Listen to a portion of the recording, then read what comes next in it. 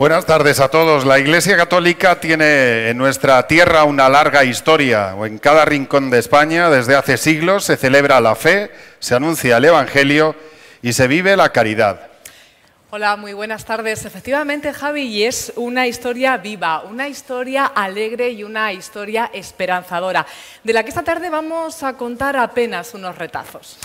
Pues así, María Ángeles, le damos la bienvenida a todos a esta presentación de la memoria anual de actividades de la Iglesia Católica en España.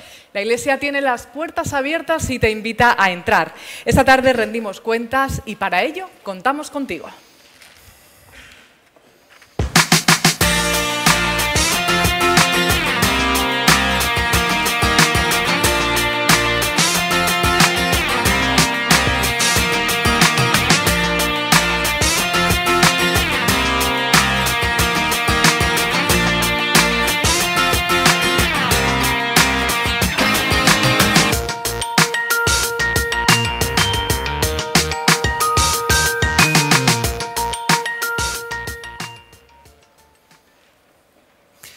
Pues comenzamos dándole la bienvenida a Fernando Jiménez Barrio Canal, vicesecretario para Asuntos Económicos de la Conferencia Episcopal Española.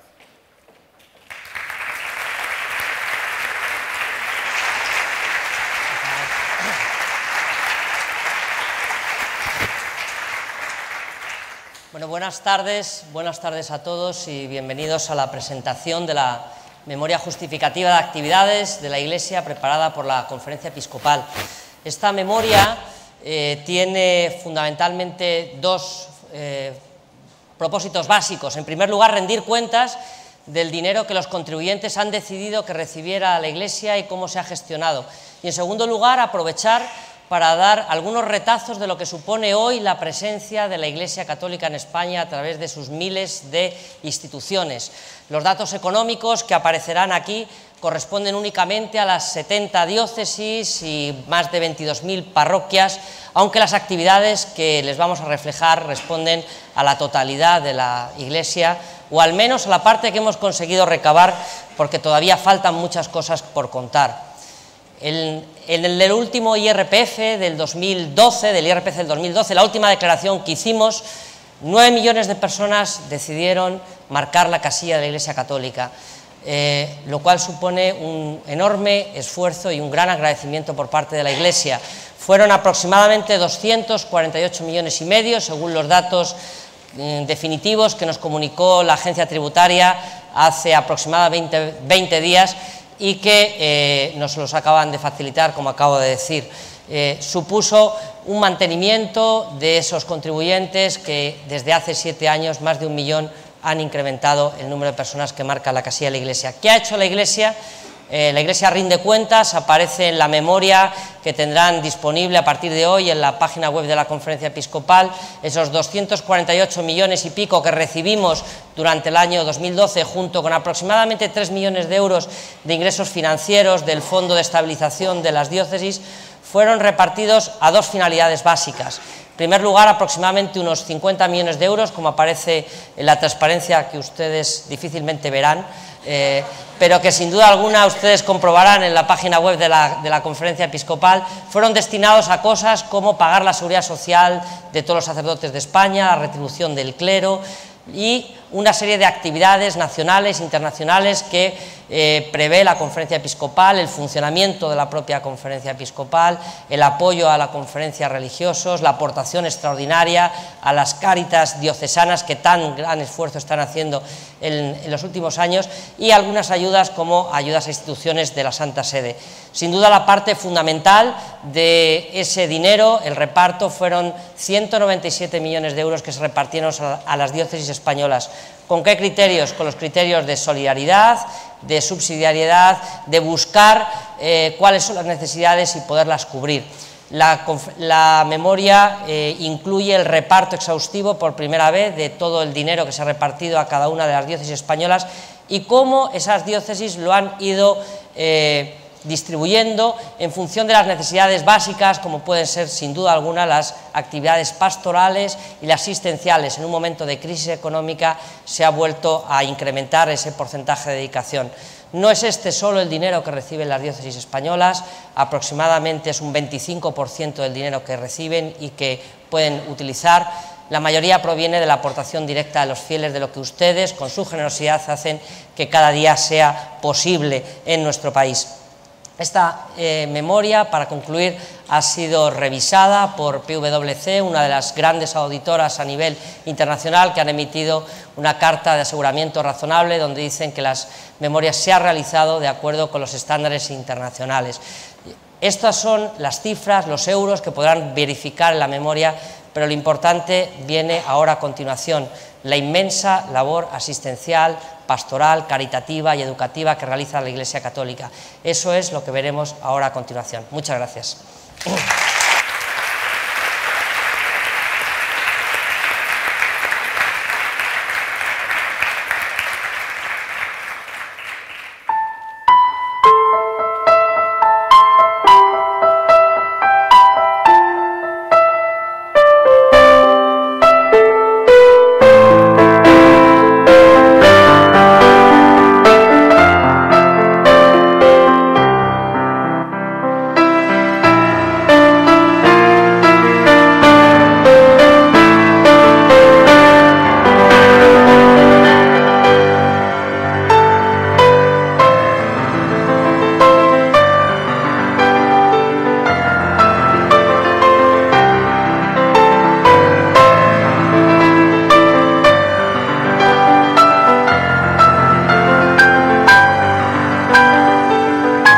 La imagen de don Francisco al llegar a mi pueblo, Villanueva del Duque, hace ya más de seis décadas, cuando encontró en la iglesia a don José Elías, un sacerdote tierno y bonachón que orientó y ayudó al joven que venía cargado de sueños para sustituirlo. Dos generaciones de párrocos se juntan e intercambian recuerdos, emociones y proyectos realizados o por realizar en su parroquia. Al uno y al otro, al párroco antiguo y al más joven se les quiere se les respeta en el municipio. Para recibir hay que dar sin pedir nada. Y estos dos sacerdotes han repartido amor a espuertas. Los Álamos de Cristo, Alejandro López Andrada.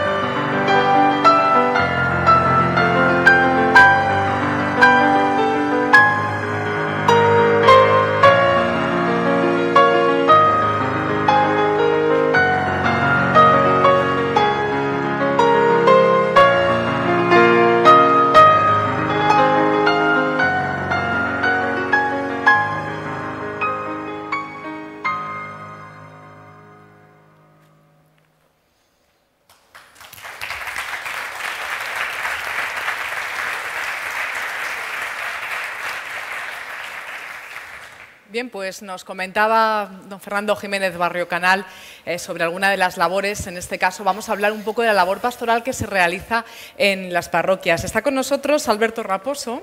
Buenas, tardes, que es sacerdote, es delegado de Juventud en la diócesis de Alcalá.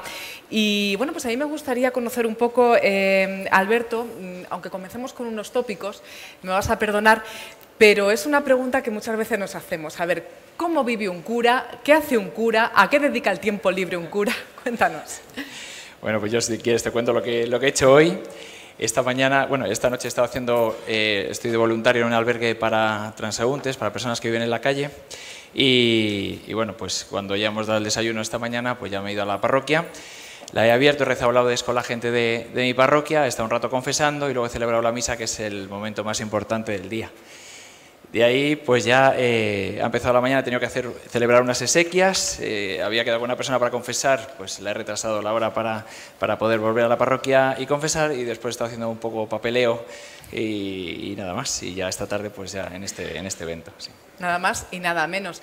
Alberto, tú lo decías ahora mismo, la misa es el, obviamente el momento más importante del día. Más de 10 millones de personas asisten regularmente a misa. Se celebran más de 9 millones de Eucaristías al año. Las cifras, desde luego, hablan por sí solas, pero vamos a intentar que hablen las caras. Eh, desde fuera pueden parecer todas las misas, todas las Eucaristías iguales, pero ¿por qué cada Eucaristía es única? Bueno, hay una frase en, en los Carmelos, yo la he visto que es muy bonita, que es, dice, sacerdote, celebra la misa como si fuera tu primera misa, como si fuera tu última misa, como si fuera tu única misa. ¿no? La verdad que el, momento más especial del día es el trato con el Señor, es, celebrar la Eucaristía. Y para un sacerdote es lo, más, ¿no? Eh, personalmente es el momento más, feliz de todo el día, ¿no? donde se descansa el corazón, donde el trato es tan íntimo con el Señor que te llena de alegría para el resto del día, ¿no? que te da la paz que, que solo Cristo puede darte ¿no? en la oración y especialmente en la Eucaristía. Por eso no solamente lo experimento en mí mismo, ¿no? como sacerdote, sino también en las personas que vienen a, celebrar con, a la parroquia, cómo el, Señor va cambiando sus corazones, cómo el Señor va tocando ¿no? el, corazón de las personas y se vuelven a Él. ¿no? Y, Él verdaderamente es el, único capaz de hacernos felices a todos. Antes, cuando nos resumías eh, un poquito el día de hoy, nos has hablado que has confesado, que has tenido que retrasar un poco la confesión porque tenías una misa de exequias, has celebrado la misa del día habitual en la parroquia. En este año 2012, del que hoy estamos haciendo memoria, eh, de la memoria de las actividades de la Iglesia, eh, se celebraron más de, de 268.000 bautizos, unas 245.000 comuniones, unas 110.000 confirmaciones, más de 62.000 bodas y algo más de 340.000 exequias. De nuevo, Alberto, las cifras parecen abrumadoras, dan un poco de vértigo, pero es que estamos hablando de, los momentos, la Iglesia está en los momentos más importantes de cada uno de nosotros, de todas las personas. La verdad que poder acompañar a las personas en el día del bautizo de sus hijos, ¿no? el día que hace la primera comunión, los niños, yo he tenido una tanda, unas cuantas tandas de primeras comuniones en mi parroquia, ¿no? el poder eh, celebrar el, matrimonio de, amigos y de, personas que están eh, acompañando ¿no? la, vida, la vida espiritual de la, la parroquia, eh, estar con catequistas, el poder acompañarles en los últimos momentos ¿no? y, darles todos los sacramentos, pues es una alegría muy grande, ¿no? Es una alegría personal para el sacerdote y yo creo que para ellos también, ¿no? Que reconocen en, los, cristianos, ¿no? Ven en los sacerdotes aquella persona que en los momentos más especiales de su vida, tanto los, más bonitos como también incluso los, a veces los más dolorosos, ¿no? Como puede ser el, drama de la muerte, pero al mismo tiempo abierto a la esperanza, ¿no? Abierto a la vida eterna, a, lo que el Señor nos regala, pues es un momento también para, para que Dios esté presente eh, en todos los instantes de la vida y especialmente los más significativos, ¿no? Permíteme una pregunta un poco personal, estamos aquí en familia. Eh, dicen las encuestas que 8 de cada 10 sacerdotes volverían a ordenarse. Eh, Alberto, repetiría, eh, repetiría ¿volverías a decir que sí? Bueno, pues yo creo que con los 8 y yo creo que con los 10, 100 veces naciera, 100 veces sacerdote, evidentemente. Pues Alberto, muchísimas gracias por este ratito y por tu labor. Gracias. Pues ser un cura rural es ser un cura estando con la gente y viviendo con la gente. La gente quiere que la quieras, que te preocupes un poco por ella. El, cura quiere pues, pues que hable.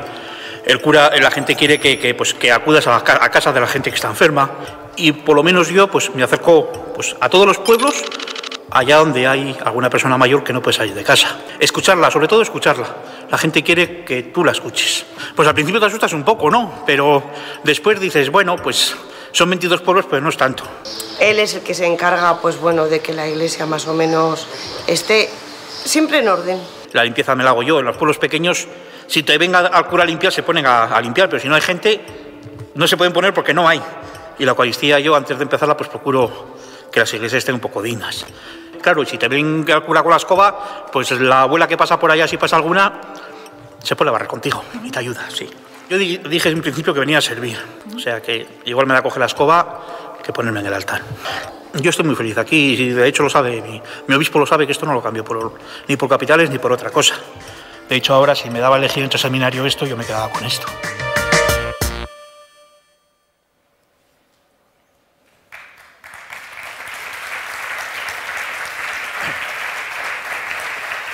La tarea de evangelización de todos los hombres constituye la misión esencial de la Iglesia. Echen un vistazo conmigo a la cantidad de sacerdotes, religiosos, catequistas, parroquias que hay en toda España y detengan la mirada en las cifras de gente que entrega su vida y su tiempo gratis, total, sin medida. Solo en pastoral, en pastoral penitenciaria son 2.563 voluntarios.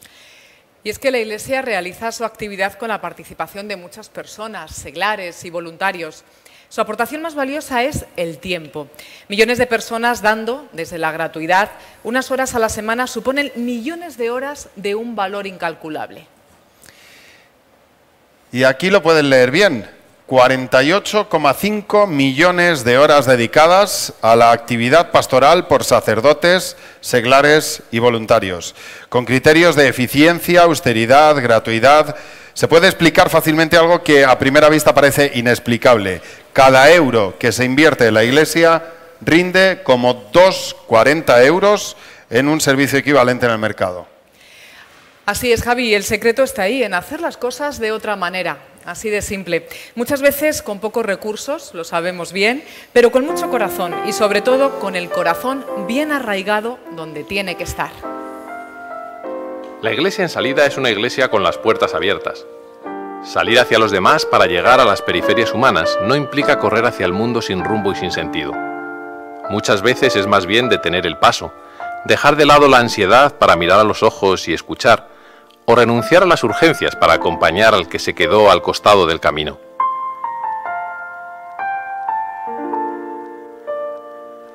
A veces es como el padre del hijo pródigo, que se queda con las puertas abiertas para que cuando regrese pueda entrar sin dificultad. Si la iglesia entera asume este dinamismo misionero, debe llegar a todos, sin excepciones. Salgamos, Salgamos a ofrecer a todos la vida de Jesucristo. Afuera hay una multitud hambrienta y Jesús nos repite sin cansarse, Dadles vosotros de comer. Papa Francisco, la alegría del Evangelio.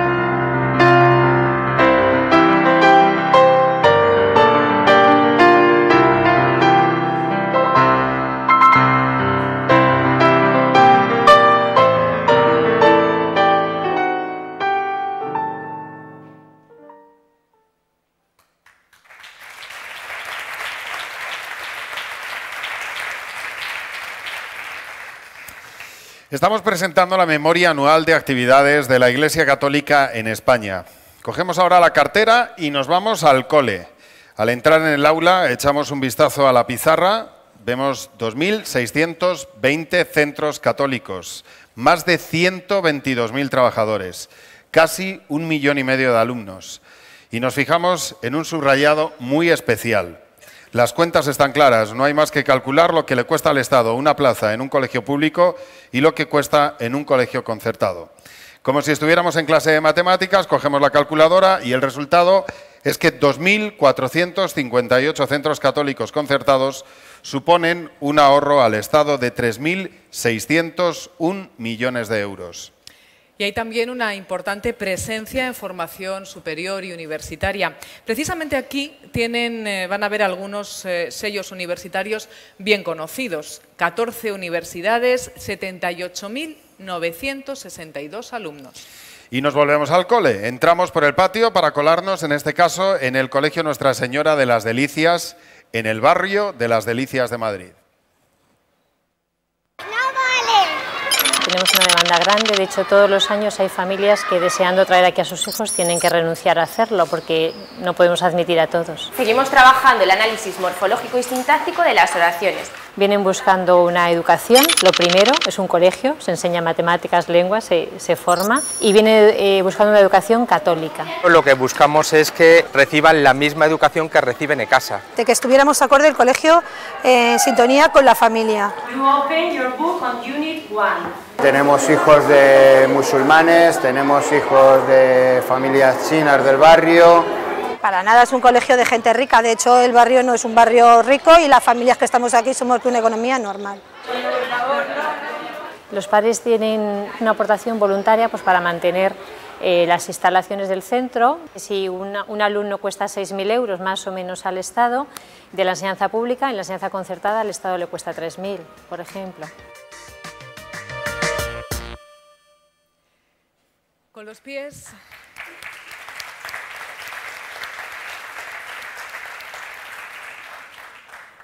Con los pies en el suelo de España. Pero vamos a salir de España durante unos minutos. Como si cogiéramos una cámara al hombro, si les parece, hiciéramos ese programa de españoles por el mundo. Españoles misioneros por el mundo. 13.000 misioneros, 402 familias en misión. Al igual que en el fútbol, aquí somos una primera potencia. Lo que pasa es que aquí lo llevamos siendo ya muchos años. No es como en el fútbol que somos recientes en esto de ser líderes en el mundo. Sí, pues, la actividad evangelizadora y misionera de la Iglesia es desde luego impresionante, todos lo sabemos, aunque alguna de ellas es bastante desconocida, la verdad, como por ejemplo el Fondo de Nueva Evangelización de la propia Conferencia Episcopal Española. El Fondo de Nueva, de Nueva Evangelización ayuda económicamente a la realización de proyectos pastorales y de evangelización en aquellas comunidades cristianas de América Latina, Asia, África, países del este europeo, que no cuentan con recursos suficientes. A veces nos resulta más fácil ayudar a las necesidades de carácter social y quedan sin recursos proyectos pastorales eh, fundamentales, desde luego, para la evangelización. El fondo se constituye a partir de una dotación de la Conferencia Episcopal Española, procedente de la asignación tributaria, con otras contribuciones de diócesis, monasterios, institutos de vida consagrada, otras instituciones eclesiales y las donaciones de los fieles. En 2012 se sacaron adelante 253 proyectos con un total de ayudas concedidas de algo más de 2.200.000 euros. Son proyectos como, por ejemplo, la construcción de una capilla, la compra de un coche o una bicicleta para los catequistas a los que no les es fácil desplazarse en determinadas zonas o ayudas a formación para seminaristas.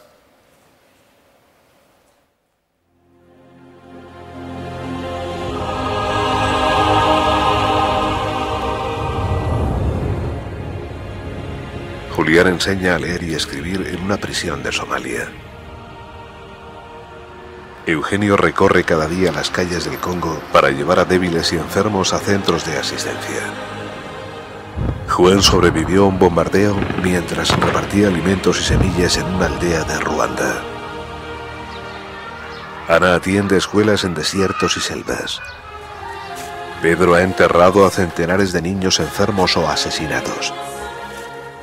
Elena vio cómo fueron fusilados algunos de sus compañeros en el sur de Nigeria.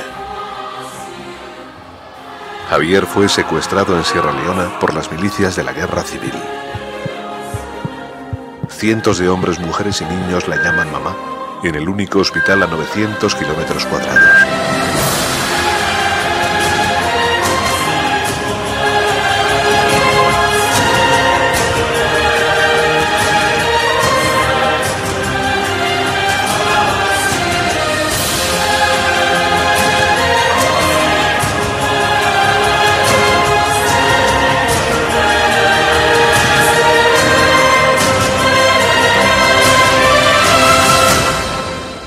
He volado a miles de kilómetros de mi hogar para enseñar a la gente que ame la vida. Para cuidar a débiles, huérfanos y enfermos.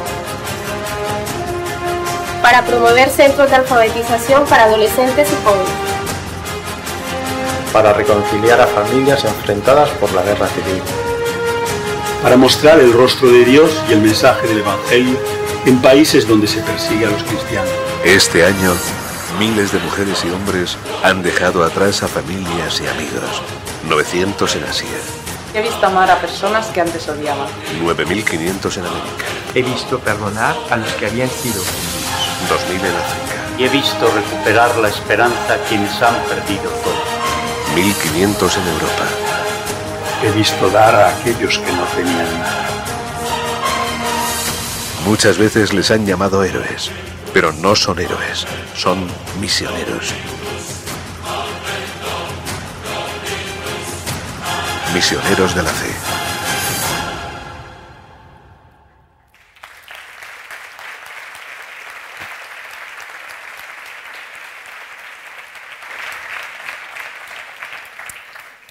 Pues vamos a conocer a uno de, esos misioneros que están por el mundo, en este caso en Perú. Luis Alfonso Tapia, bienvenido.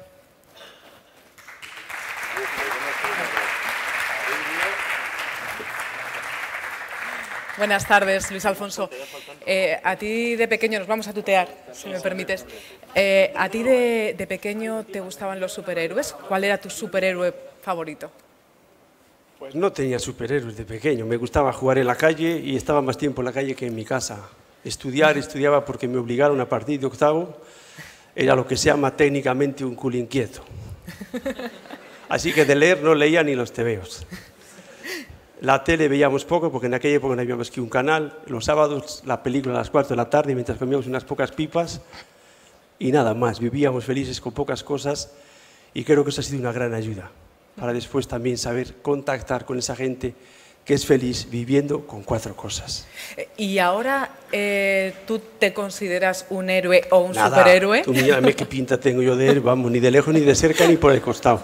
Sí hay héroes, pero los héroes no somos los que llevamos el hábito. Los héroes es la gente que nos encontramos allí. Mujeres que solas, enfermas, luchan por sacar a sus hijos. Nosotros lo único que hacemos muchas veces es escucharlos y una señora que viene y dice, Padre, estoy cansada.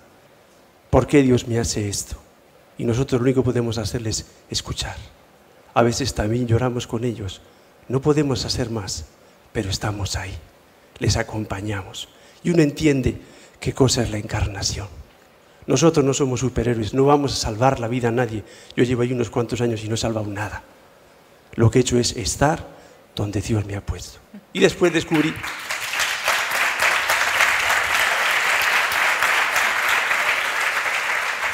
Después descubrí que Madre Teresa lo había dicho mucho antes. Allí donde Dios nos pone, tenemos que florecer.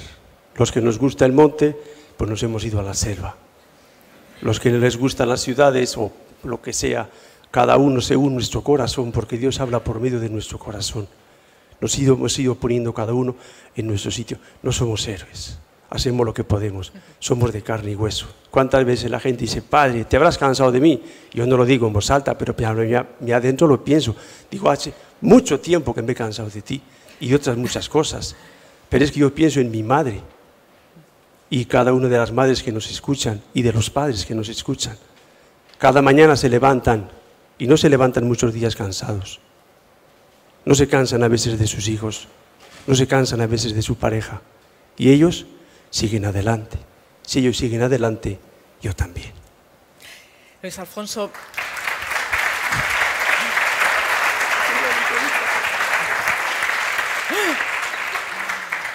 Yo sé que esto no, no, es muy habitual, yo sé que a, a los misioneros, pues la verdad nos gusta hablar demasiado de vosotros mismos. Cuando os preguntamos, eh, como que quitáis importancia a lo que hacéis.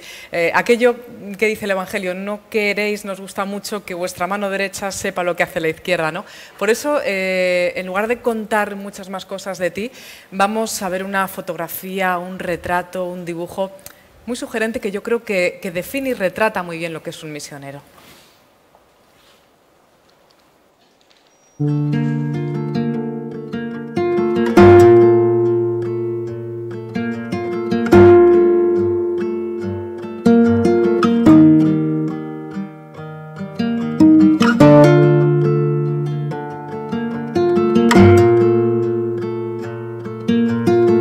llamo Luis Alfonso. Nací en Burgos hace unos cuantos años. Soy el cuarto de cinco hermanos. Fui matemático antes que misionero bueno, es una forma de explicarlo porque en realidad me licencié en matemáticas y ejercí durante cinco años como profesor. En 1992 me fui durante un tiempo breve, como tantos otros muchachos de mi edad, a Perú, con una ONG católica. Ya no pude quitar los ojos de allí. Al año siguiente repetí durante un periodo más prolongado. La historia se fue complicando poco a poco. Como resuena en el pasaje de Isaías, aquí estoy Señor, envíame. Y fue entonces cuando se armó el lío padre. Tuve que pedir excedencia en el colegio donde daba clases, que dejar el trabajo, el país, a mis hermanos, a mis padres. Soy sacerdote, misionero, un español por el mundo, uno más de los muchos misioneros españoles que hay repartidos por el mundo entero. párroco de San Ramón Nonato, vicario general y judicial y encargado de los seminaristas del vicariato, allí, en el medio de la selva peruana. Como podéis imaginar, esta aventura tan inesperada como apasionante tiene muchos más capítulos que contar. Pero no voy a hacerlo. O no voy a hacerlo así. Prefiero que me pongáis rostro. Prefiero hacerlo cara a cara.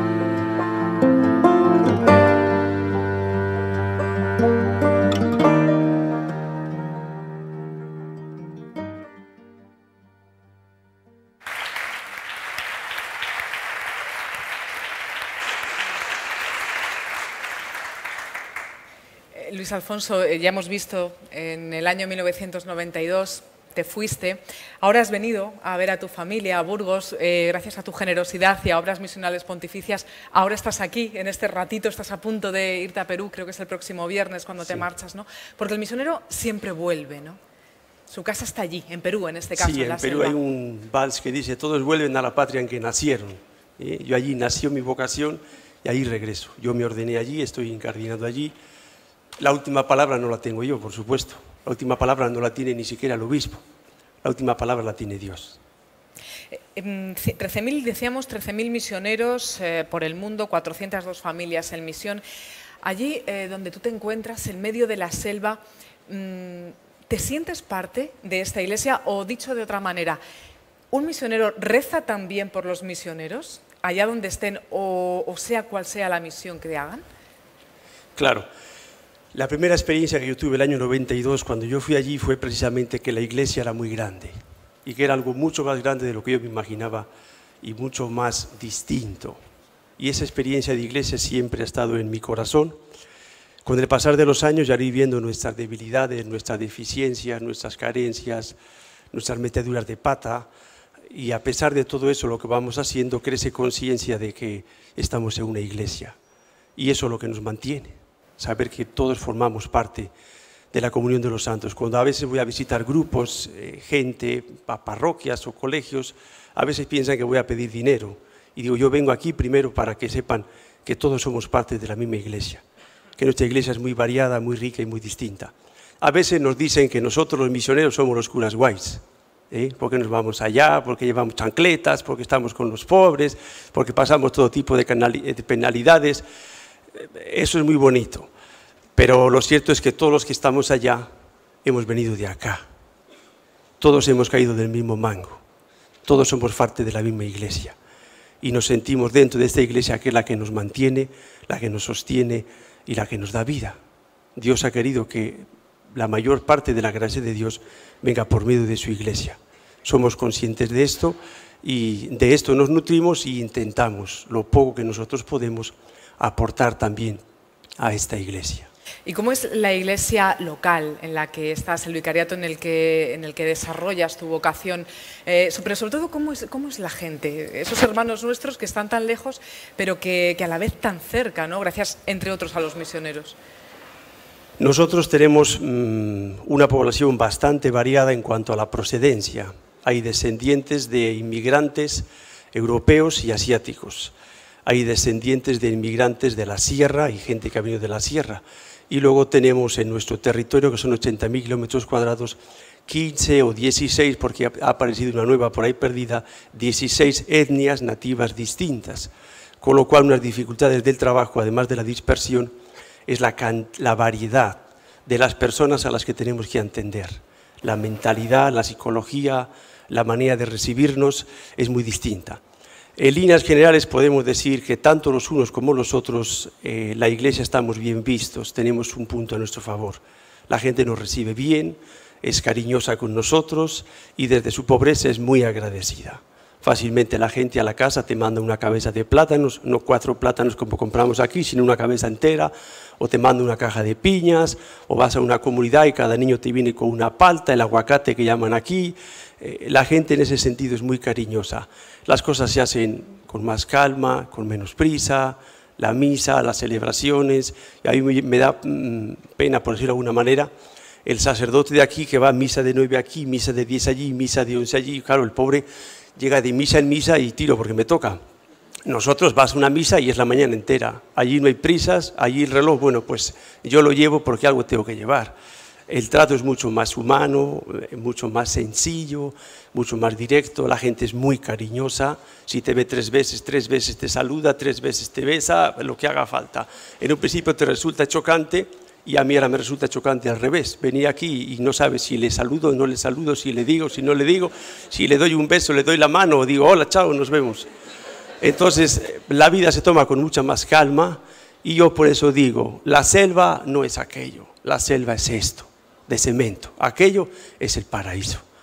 Pero el paraíso todavía terrenal, todavía existe el pecado original.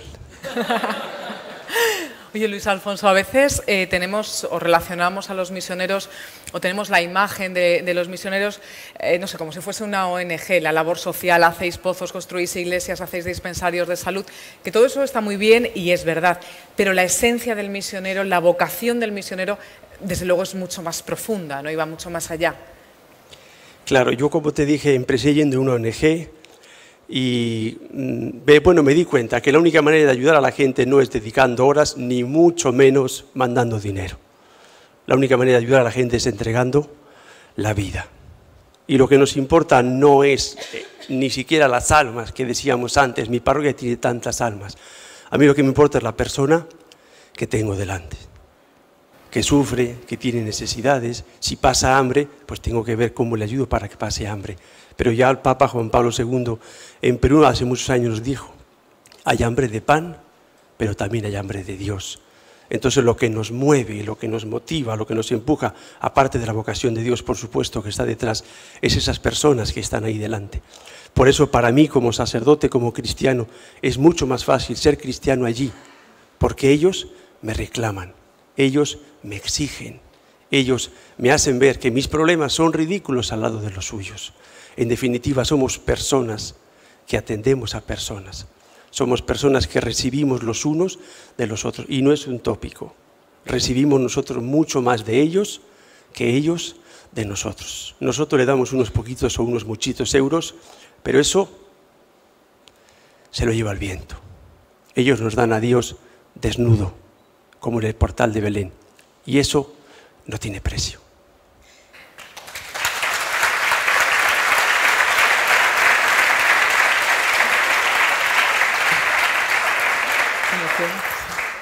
Luis Alfonso, mm, te vuelves a Perú el próximo viernes. Acuérdate de nosotros, allá en la selva. Sí, yo siempre cuando me Padre, oraciones, digo, yo siempre rezo por los pecadores. Así que también ustedes recen por este pecador. Gracias. El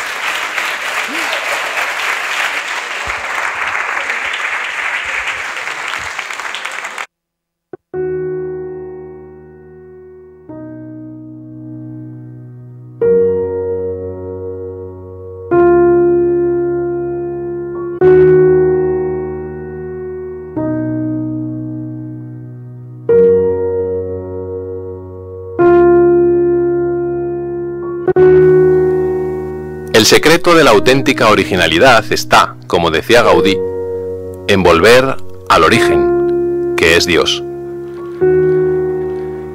Él mismo, abriendo así su espíritu a Dios, ha sido capaz de crear en esta ciudad un espacio de belleza, de fe y de esperanza, que lleva al hombre al encuentro con quien es la verdad y la belleza misma. Así expresaba el arquitecto sus sentimientos. Un templo es la única cosa digna de representar el sentir de un pueblo, ya que la religión es la cosa más elevada en el hombre. Benedicto XVI, homilía en la consagración de la Sagrada Familia, Barcelona.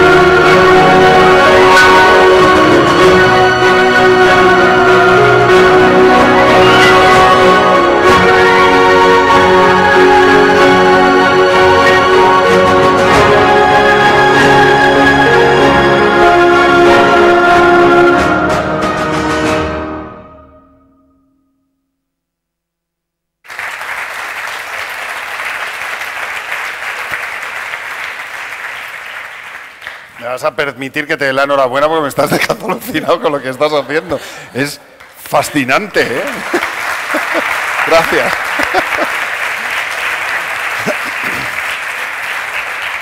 Pues así en este dibujo hemos viajado sin movernos del asiento de Santiago a Barcelona y con la belleza de la Sagrada Familia, pasando por Zamora o por Sevilla. Claro, y es que además la memoria que hoy estamos presentando recoge la importante presencia que la Iglesia tiene en el patrimonio cultural. Consciente del interés que suscita, la Iglesia lo pone a disposición de todos. Y déjenme que les dé algunas cifras. Eh, 3.168 bienes inmuebles de interés cultural que pertenecen a la Iglesia. 44 bienes culturales declarados Patrimonio Mundial de la Humanidad. 541 santuarios, 332 museos de la Iglesia o quizá lo que más suene, lo más popular, la fiesta. 176 celebraciones y fiestas religiosas que cuentan con la declaración de interés turístico nacional e internacional. Durante el año 2012, dentro de España, aumentaron también los viajes por motivos religiosos. Más de 25 millones de personas participaron en peregrinaciones, celebraciones de Semana Santa y fiestas populares de carácter religioso. Y este año se detalla en la memoria y aparece en numerosas ocasiones la actividad que se genera en torno a las cofradías y a las celebraciones de Semana Santa, en particular a las procesiones. Claro, y además tenemos muchísimo donde elegir, ¿verdad? Ustedes lo conocen bien. Zamora, Valladolid, Salamanca, Sevilla, Málaga, Granada, Lorca, Cartagena, Murcia, Ferrol, Cáceres, Toledo. Y no están todas las que acaba de mencionar María Ángeles, son solo algunas de las que están reconocidas como de interés turístico internacional. Sí, y es que hablar de Semana Santa nos lleva a hablar casi inevitablemente de las cofradías, de las que muchas personas piensan que existen exclusivamente por y para las procesiones de Semana Santa, que su actividad comienza y termina ahí. Las hermandades y cofradías desarrollan una ingente actividad caritativa y social Comedores sociales, ayudas de emergencia ante desastres o catástrofes naturales, atención a familias desestructuradas. La lista es larguísima. Sí, porque es apenas una pequeña parte de la enorme actividad caritativa y asistencial de la Iglesia en España. Aquí sí que, como decía ya antes, hay que sacar la calculadora, aunque se trate de dar sin medida, sin cálculo interesado ni reserva alguna. Uf, pero esto da un poco de vértigo, ¿eh? da un poco de vértigo, porque fíjense, en el año 2012 casi 3 millones y medio de personas fueron acompañadas y atendidas en algunos de los 8.135 centros asistenciales católicos. Desde el año 2007 se ha incrementado en un 67% los lugares donde se hace presente de una u otra forma la actividad caritativa y asistencial de la Iglesia. La Iglesia que desde luego ha estado siempre ahí, está ahí, en medio de tantas crisis y que desde luego, sin ninguna duda, seguirá estando cuando pase esta tormenta, estos nubarrones que tenemos ahora y siga habiendo gente en las periferias, en los descampados, eh, gente, personas que no tengan donde cobijarse. Pues como bien dices María Ángeles, en medio de esta tormenta el número de personas atendidas en el año 2012 creció un 10% con respecto al año anterior. Y la lista es tan impresionante como interminable. Eh, desde los más conocidos, Cáritas, que es la misma iglesia, la iglesia en el servicio de la caridad, el amor, el servicio a los más pobres, o Manos Unidas, la ONG de la Iglesia Católica, que muchos conocen por sus campañas contra el hambre y que dedica sus esfuerzos a la sensibilización entre nosotros y a los proyectos de ayuda, promoción y desarrollo en el tercer mundo. Pues a esta lista conviene ponerle nombres y apellidos, como por ejemplo los comedores sociales, que por desgracia se han puesto tan de moda entre nosotros, los centros de educación para la paz, los centros para mitigar la pobreza, la atención a enfermos, los centros de asistencia a inmigrantes. Vamos a quedarnos, si les parece, en estos dos últimos. Este es un ejemplo de la impagable labor que tantas personas de Iglesia hacen al lado de los que sufren, por ejemplo, al pie de la cama de los enfermos.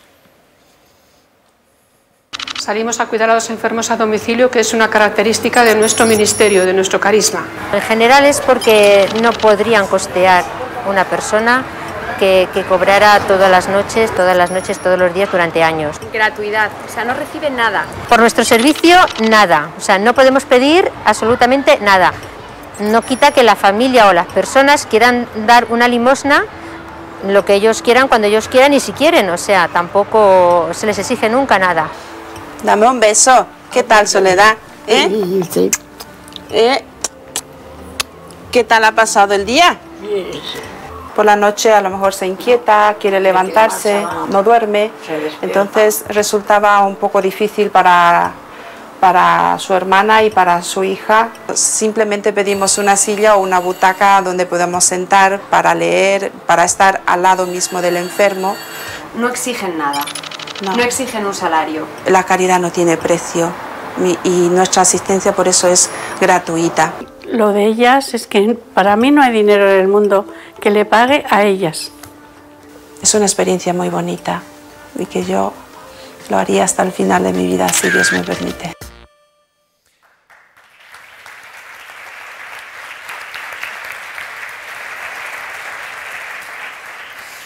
Pues como dijimos íbamos a ir a dos sitios, hemos estado ya con las siervas de María viendo la tarea que realizan con las personas enfermas y nos queda otro lugar, que es acudir a los centros de ayuda, de asistencia a los inmigrantes.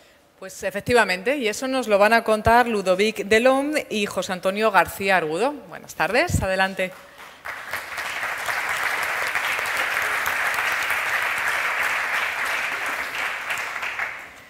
Bienvenidos, eh, Ludovic, eh, que es de Camerún y que llegó a España a través del mar. Pero mejor cuéntanoslo tú. Buenas tardes. Me llamo Ludovic Trezor, soy de Camerún. Nací en un pueblo pequeño de Camerún, se llama Lum. Y tengo a mis tres hermanas y a mi madre allí. Salí de mi, mi padre murió cuando yo tenía siete años. Salí de mi país en, en 2011 para intentar llegar aquí en España. Crucé por el desierto y entré nadando en Ceuta. Nadando, llegaste, llegaste a Ceuta. Ahora nos contarás más cosas porque Ludovic es catequista, pero ahora, ahora le contamos. Una de las personas que les reciben mm, aquí en España, no sé si personalmente a, Ludovic, pero eh, nos, sirve el ejemplo para tantas personas que llegan como él a nuestro país, es eh, José Antonio García Argudo. Él es voluntario en Pueblos Unidos mm, de, los jesuitas. Eh, ¿Y cómo se abren los brazos para acoger, para recibir a alguien a quien no conocemos y que de pronto llega a nuestra casa? El, el objetivo fundamental no es solamente la acogida, sino es la integración. Y la integración se hace no solamente eh, en el piso que tenemos en la calle Antonio Machado, donde hay otros ocho compañeros de Ludovic, eh, son subsaharianos, la mayoría son musulmanes, la iglesia está abierta a todo tipo de creencias y conviven africanos de distintas creencias, cristianos y musulmanes en el piso, ¿verdad Ludovic? Sin ningún tipo de problema, se respeta la comida.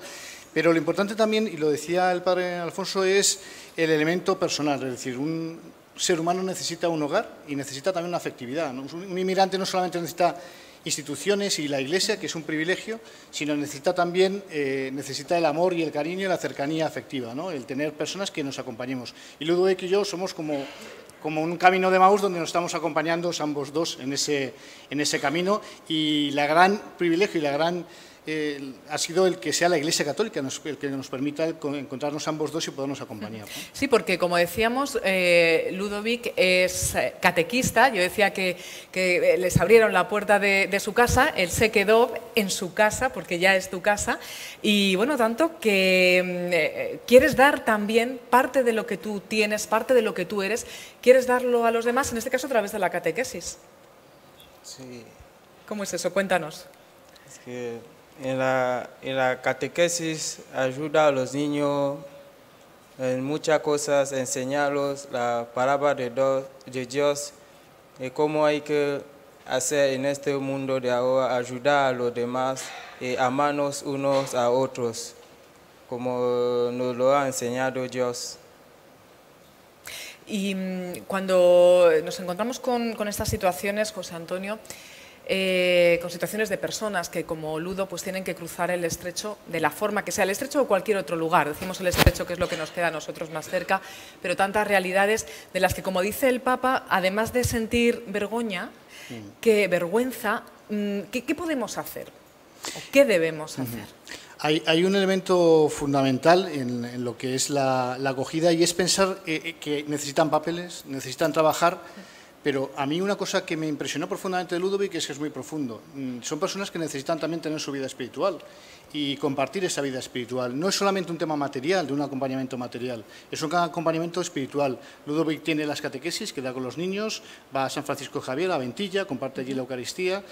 Es decir, eh, como cualquier persona tenemos nuestras necesidades espirituales y en África son personas especialmente profundas, espirituales, nada materialistas. En ese sentido, a mí me conmueven, me, me conmueven profundamente el convivir esa espiritualidad con Ludovic y para mí es un privilegio poderlo compartir con él. Y hoy ha sido un privilegio, desde luego, que, que pudieseis compartir esta historia con nosotros. Muchísimas gracias, José Antonio. Muchísimas gracias, Ludovic.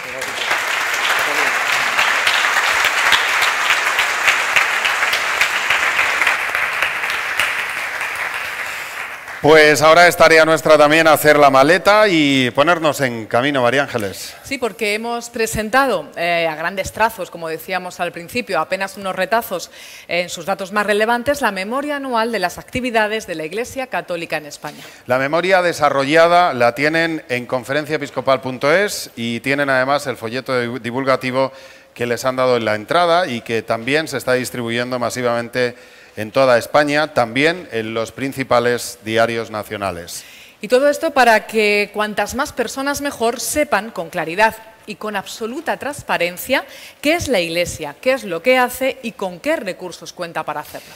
Dejamos las puertas abiertas y antes de marchar, mejor dicho, antes de una sorpresa musical, eh, por eso está el piano aquí, que les tenemos preparada, como no podía ser de otra manera, y de corazón toca agradecer, dar las gracias. Y recibimos a don José María Gil Tamayo, secretario general y portavoz de la Conferencia Episcopal Española.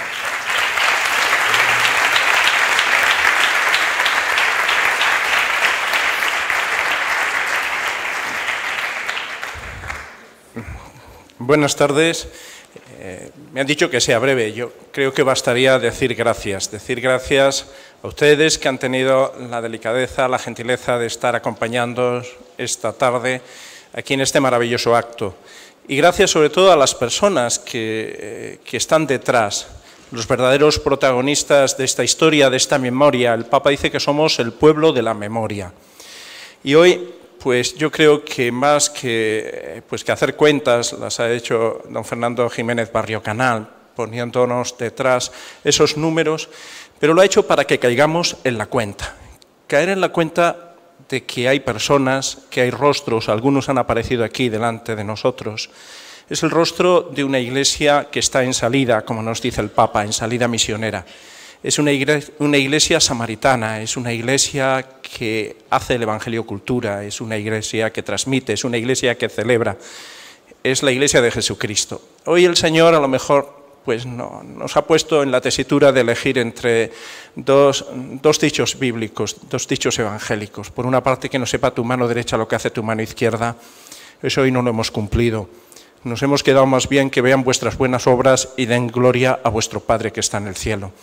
No lo hemos hecho para decir lo bueno que somos, sino para daros cuenta de que contamos contigo, de que vuestra ayuda, la ayuda de la gente que es creyente, que son la gente de nuestras parroquias, de nuestras comunidades cristianas, la gente que sabe que tiene que ayudar a la Iglesia en sus necesidades porque ayudando multiplica esa ayuda para llegar a muchos, a muchos, sino también esa gente de buena voluntad, que a lo mejor no tiene fe, pero que sabe que la Iglesia contribuye a la cohesión social, al bien de nuestro país, al bien de la humanidad, y también destina pues, y hace esa, X en la casilla de la Iglesia Católica o en otros fines, que puede hacerlo también, porque no somos contrincantes de nadie, pero queremos mostrar lo que hacemos, no para ufanarnos, sino para seguir haciendo el bien. Por eso queremos contar contigo, queremos contar con vosotros. Y yo quiero dar las gracias a quienes han hecho posible este acto. De la Vicesecretaría para Asuntos Económicos de la Conferencia Episcopal Española, a la Comisión Episcopal de Medios de Comunicación, a la Oficina de Información de la Conferencia Episcopal Española, a todo el grupo, ¿eh?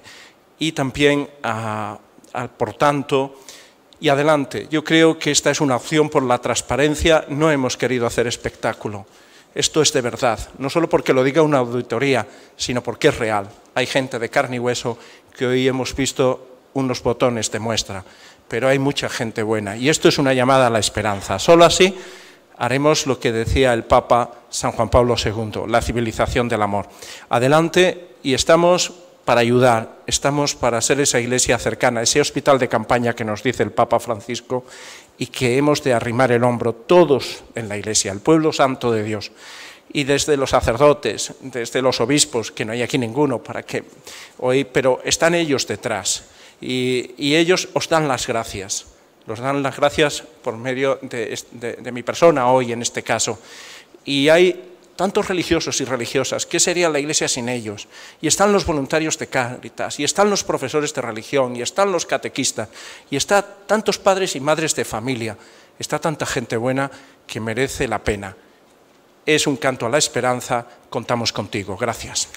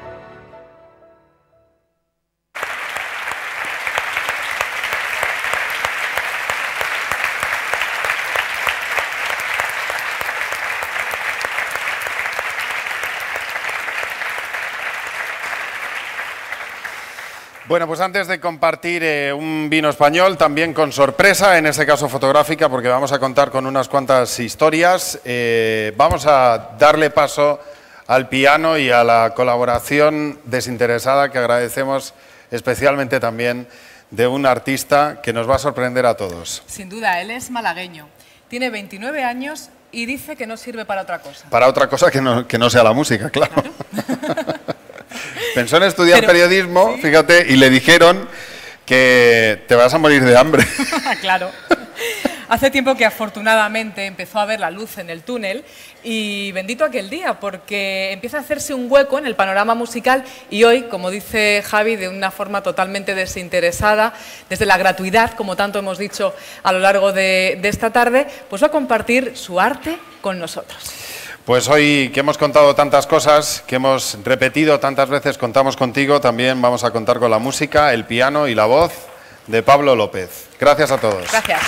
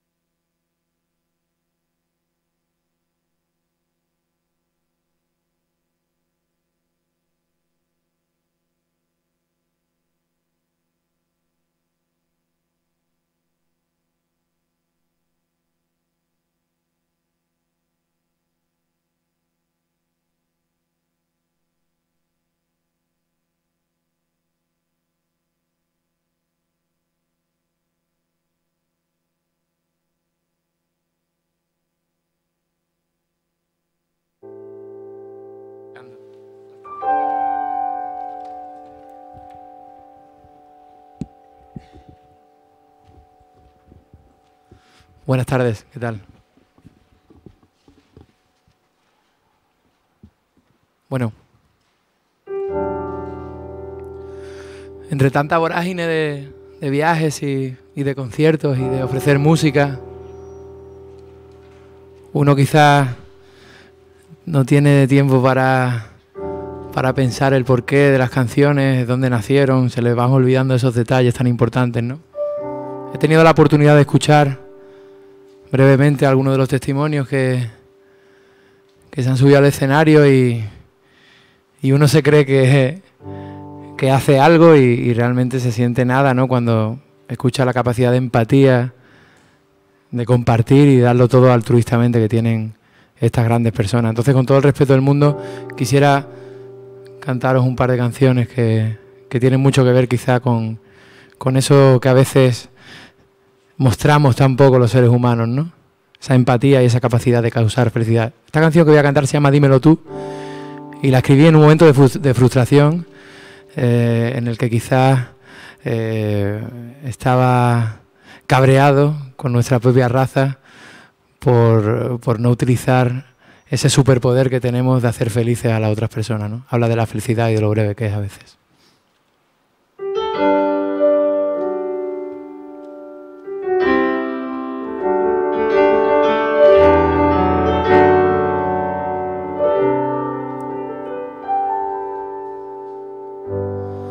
Ver cómo te lo canto, a ver cómo te lo digo.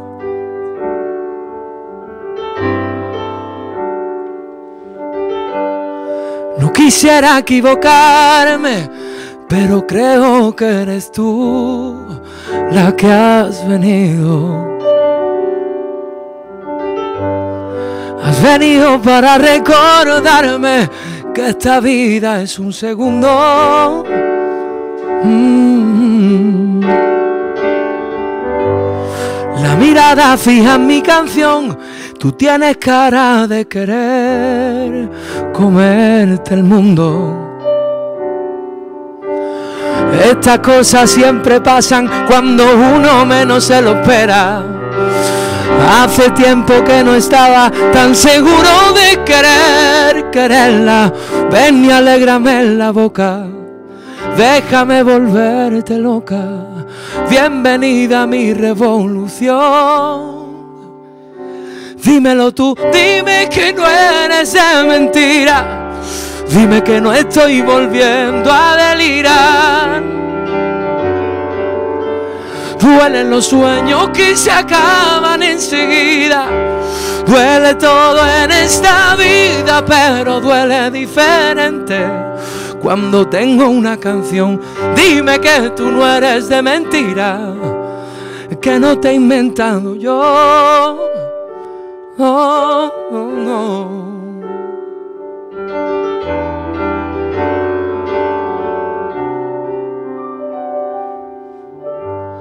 Ojalá que te quedaras más de lo que yo me espero.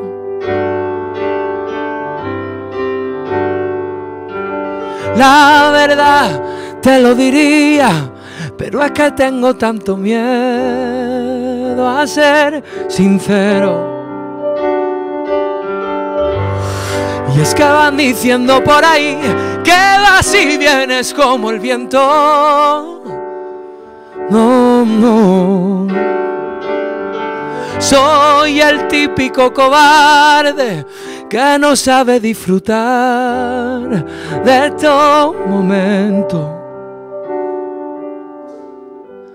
A ver cómo te lo canto. A ver cómo te lo digo. Acompáñame a mi calle yo quiero ver el sol contigo, guardaré las penas en algún cajón. Dímelo tú, dime que no eres de mentira y dime que no estoy volviendo a delirar. Duelen los sueños que se acaban enseguida. Duele todo en esta vida, pero duele diferente cuando tengo una canción. Dime que tú no eres de mentira, que no te he inventado yo. No, te he inventado yo.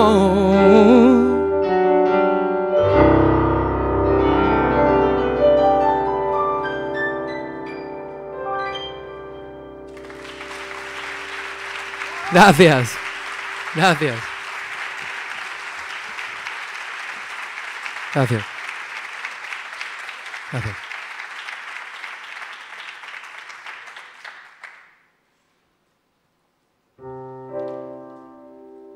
Bueno, sin la pretensión de, de cambiar el mundo, ni nada por el estilo, escribí una canción hace un tiempo y la escribí quizás desde la rabia y, y no desde desde un sentimiento tan bonito como pueda ser la felicidad. Y digo si la pretensión de cambiar el mundo, porque a veces eh, en alguna entrevista me han dicho, bueno, es que estás comprometido ¿no? por escribir este tipo de canciones y, sinceramente no me parece ningún compromiso. Compromiso es hacer, insisto, las cosas que he visto que se están haciendo, ¿no? Esto es una tontería, es una, es una manera de expresar tus sentimientos y a lo mejor un hueco en el corazón de alguien, pero no mucho más. Yo escribí una canción que se llama Mi casa y es una canción que habla, una vez más, eh, quizás de esa muestra a veces tan agresiva que hacemos de la falta de empatía entre nosotros los seres humanos. Y quizás se ve reflejada o una imagen muy representativa de eso es como están echando a la gente de sus casas y no hace falta que nos vayamos muy lejos a otros países y nos está pasando aquí cerquita, en nuestras ciudades, en nuestros pueblos, ¿no? la gente de nuestra familia, amigos, los desahucios y este tipo de cosas que, que uno las consume cada día, los informativos, pero después sigue con su vida, se va a comer, no ha pasado nada, pero quizá le queda el vacío de lo que, de lo que se cueza ahí dentro y lo grave que es echar a una familia entera de su casa. ¿no? Así que desde el respeto y, y insisto, sin ninguna pretensión, esto dice así.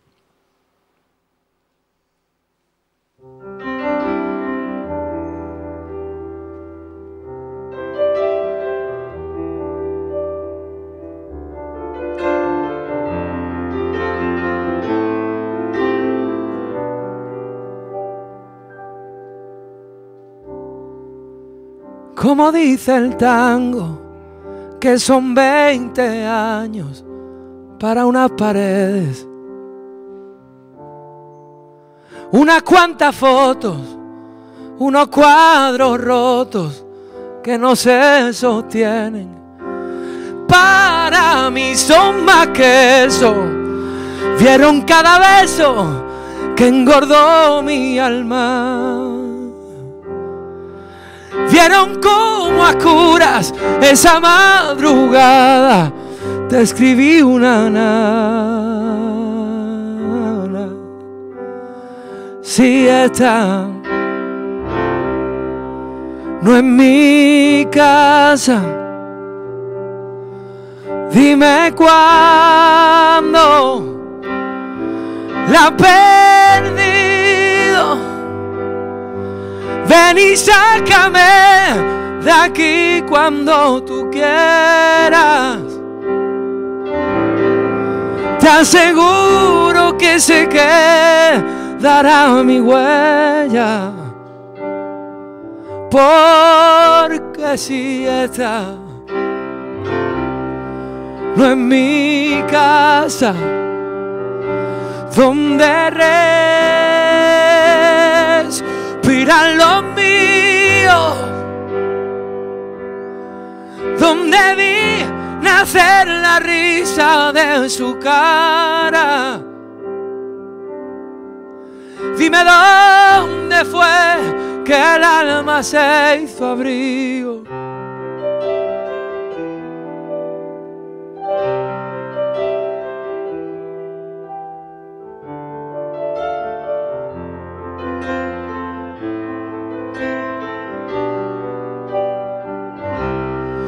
Quédate las llaves, por si no lo sabes, yo me quedo el llanto. A ver cómo puedes con unos papeles desahuciar mi canto. Que venga Dios y lo vea. Una vida entera pagaré mi culpa. ¿Quién está ganando esta guerra sucia, esta guerra absurda?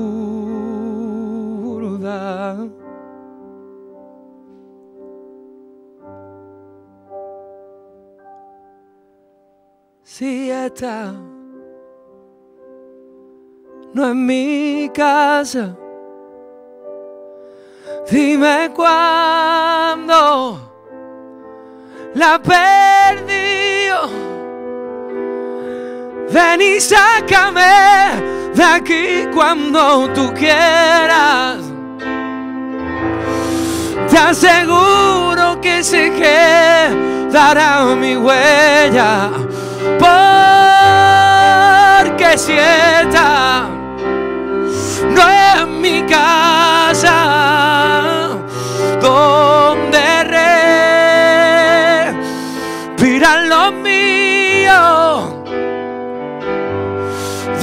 vi nacer la risa de su cara. Dime dónde fue que el alma se hizo abrigo.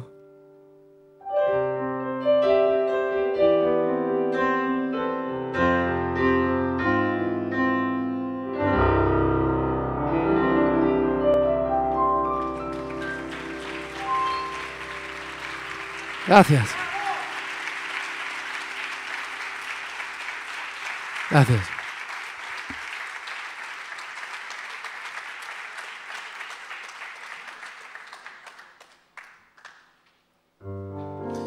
Bueno, ya está. Es una cosita más y abandono. Os dejo de robar tiempo. Eh, ha sido un placer compartir este pequeño momento con vosotros. Gracias a, a la buena gente que ha pensado en, en que quizá teníamos algo algún motivo para conocernos. Siempre es bueno. Voy a acabar con una canción que me lleva acompañando todo este año, que se llama Vi. Y una vez más, haciendo mención a, a lo que he visto aquí, he visto que, que muchos de los protagonistas de los vídeos hablaban de cosas que han visto extraordinarias. Yo escribí una canción de lo que había visto yo en lo poco que llevo de esta vida de locos. Y, y dice así. Bueno, muchísimas gracias, buenas tardes y espero que nos veamos en otra parte.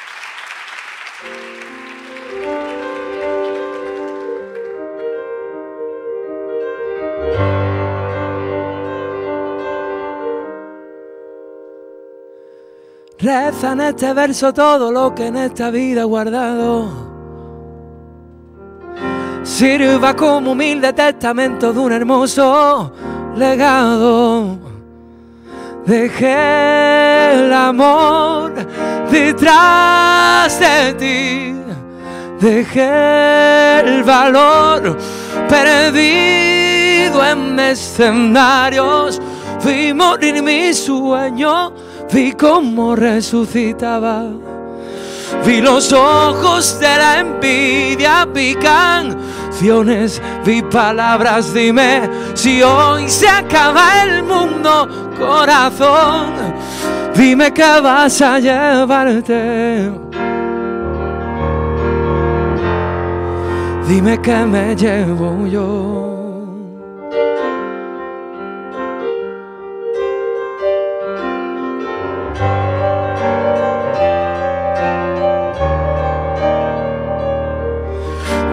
Tengo la tranquilidad de haber vivido días y noches. He bañado mi no madrugadas, he besado el derroche. Me emocioné cantando al sol. Perdí, gané, crecí con la batalla. Vi el engaño, vi algunas verdades Vi que estamos solos, vi fortuna, vi necesidades. Vi quemarse todo, si hoy se acaba el mundo corazón, dime que vas a llevarte. Dime que me llevo y vi llorar a un alma inconsolable. Vi reír al miedo, yo he visto amar, he visto cuánto debo. Dime si hoy se acaba el mundo, corazón, dime que vas a llevarte. Dime que me llevo yo. No, no.